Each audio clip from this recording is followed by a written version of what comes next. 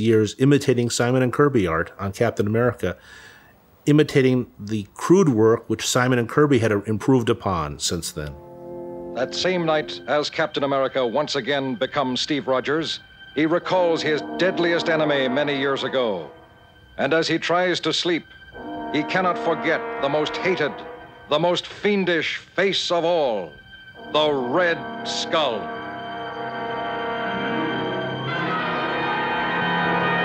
Fool! The final battle has not been fought. The fruits of victory shall be mine. Then, in his memory, Steve Rogers returns to the fateful day 20 years before when he fought his last battle in the Red Skull's hidden bunker. Destroy him! Don't let him get away! He can't escape me now. Not when I've come so close.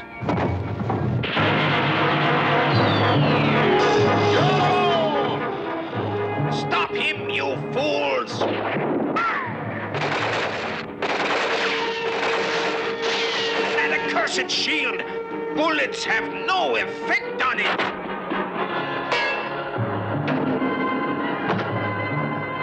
You will never win! You cannot destroy my plan! This will do it! I'll finish you off with a simple hand grenade! I've got to stop him from throwing that grenade. Captain America was designed to be sort of a wish fulfillment of the guy who wants to go fight in the war. You know, I don't want to be just a foot soldier. I want to be the guy parachuting into Germany, beating the hell out of the stormtroopers, and then going on and, you know, grabbing Hitler. Uh, so he definitely was, you know, like a living icon or an extension of patriotic spirit at the time. I thought that we should have a villain. The villains were very popular at the time. Bob Kane had some very good villains in his Batman comic. So I thought possibly we could have a live villain, a real villain. And I thought, who was the most hated man in the West? And that would be Adolf Hitler. So actually, Captain America started off uh, with Hitler for uh, a villain. We put a uh, decided comical bend to it, and, um, and Captain America turned out to be a foil for Adolf Hitler. Back in the 40s, when most of the characters were invented, you've got the fact that here's a real world villain that we can go ahead and caricaturize and we can put in these comics and we can have characters like Green Lantern and the Spectre literally going out there and punching Hitler and fighting specific costume soldiers from a very specific nation and be completely unhinged about it. They would put out books uh, using the characters and selling them against the Germans, against the, selling war bonds. Actually, they used the characters for that purpose. That I definitely knew they did that, you know, and apparently they were successful because they did quite a bit of that. In fact, I remember the big one with Superman with his, with the bird on his arm. You remember? Buy war bonds. You know? So they did a lot of work for the government.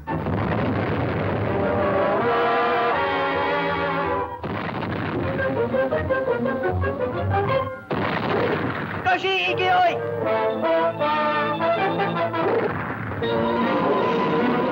この大変のこと人見つけてあるよ。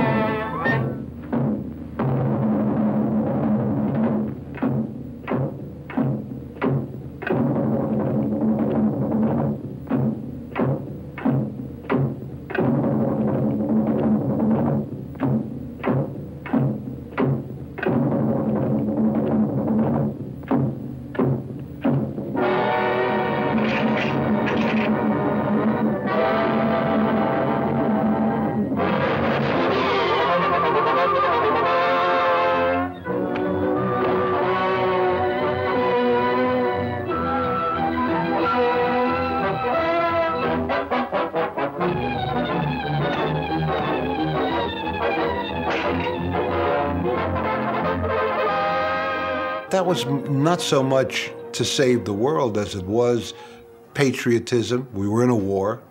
Uh, the Army and the Navy were involved, boys and sons and daughters and uh, fathers were all involved in this.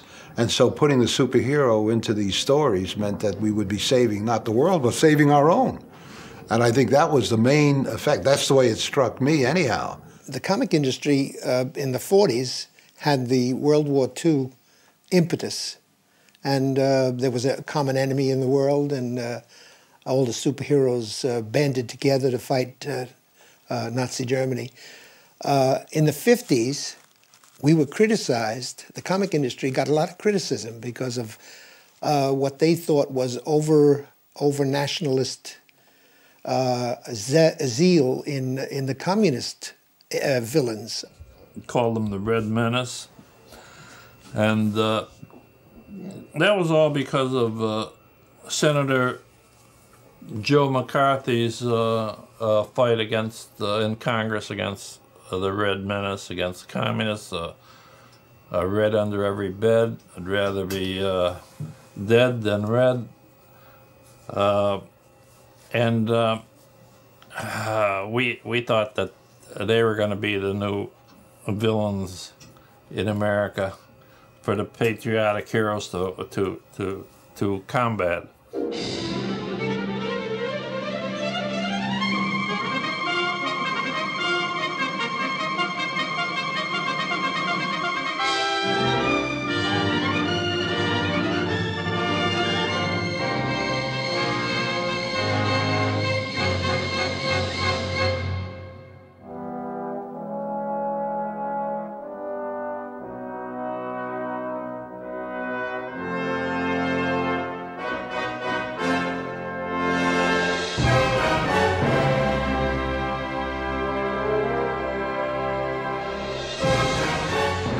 There are a number of scholars who talk about the Cold War entering the American psyche in uh, subterranean ways. There's a whole literature about the horror films of the 1950s uh, being a code for being taken over by the Red Menace.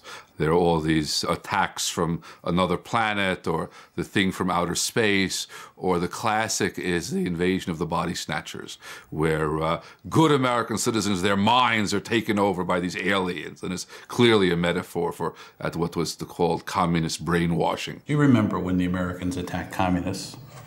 That was so much fun. Uh, we also attacked comic books. Somehow there was a relationship made between comic books and crime, and comic books and going against authority, and comic books and, and violence. There was a senator here named Kefauver who was wanted to be president. He needed a theme to jump off from, and he picked on comics. I think the way they're picking on films today, and uh, violence, violence hurting children, you know and they blame all the comics for the problem. We were attacked all over on radio, papers, newspapers. Everyone was attacking us. And this guy, Keith Kefauver, was saying children are being killed by comic books and so on and so forth. So it was a really desperate time. There were about 422 different comics or comic titles on the newsstands in March 1954. Of these, about one fourth were of the crime and horror uh, variety. To what extent, in other words, do these appeal to the children to a greater or less degree than uh, the kind that we're all more familiar with, the, the harmless comic strip? It's about 20 million a month, uh, Senator Kefauver. That's right, 20 million a month of, of, uh, of this, uh, the crime and horror variety.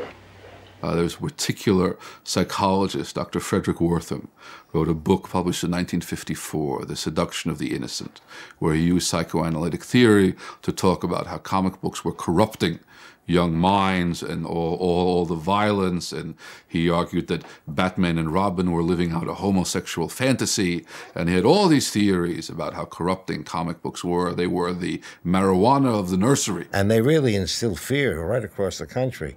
And distributors were throwing comic books out of their places. And we didn't think the business was going to survive anymore. So the publishers at that point got together and they decided to build a code a self controlling code. And they thought that would appease the crowd. And they would go over every page and they'd take things out we thought were irresponsible. They didn't care.